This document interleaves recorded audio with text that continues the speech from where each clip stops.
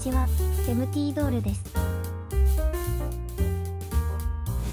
今回も新しくメイクしたヘッドにお洋服を合わせていきたいと思います。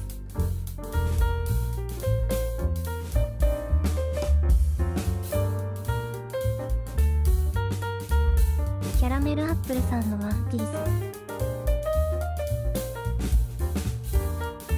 丈が短めでとっても可愛いです。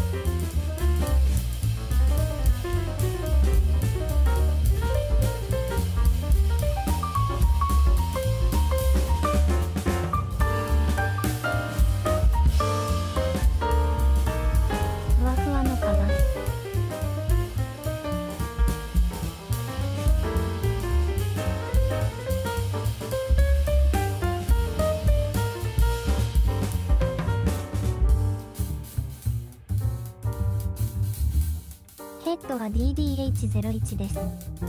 困り眉の開口です。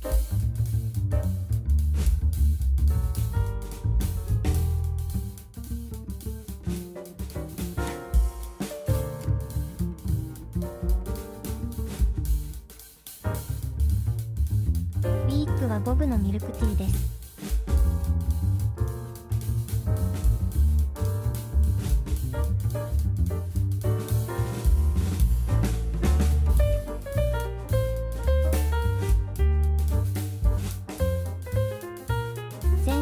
こんな感じです。かわいい。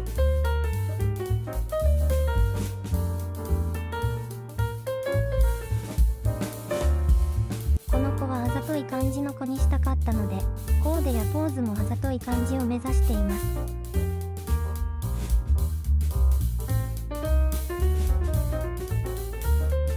今回も雰囲気の違う別のコーデと2種類の紹介動画を作ったので最後まで見てもらえると嬉しいですご視聴ありがとうございました。